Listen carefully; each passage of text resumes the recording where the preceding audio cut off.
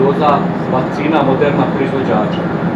Podrška koja će pomoći Bosni i Hercegovini u trenutnom, ali i daljem javno-zdravstvenom odgovoru na pandemiju COVID-19 zaraznog oboljenja, obzirom da ćemo uz podršku ambasade pratiti naše potrebe u budućem periodu. Sa današnjim dozama Bosna i Hercegovina je zaprimila 3.690.260 doza vakcina protiv SARS-CoV-2 virusa.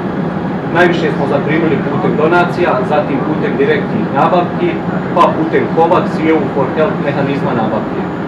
Sa današnjim danom 929.835 osoba su primile prvu dozu, odnosno 27,32%.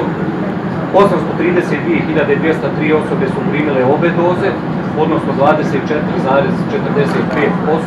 dok je treću dozu primilo 79.249 osoba, odnosno 2,33% stanovništva Bosne i Hercegovine. of the global pandemic when the U.S. military airlifted medical supplies to the BIH, the United States has demonstrated its clear commitment to the citizens of this country. Through USAID, the U.S. government has provided $11.2 million in COVID-19 relief to BIH to help its laboratory systems, identify cases, support experts, strengthen prevention, raise public awareness, and support the most vulnerable populations. Omicron variant causes a sharp increase in infections in BIH.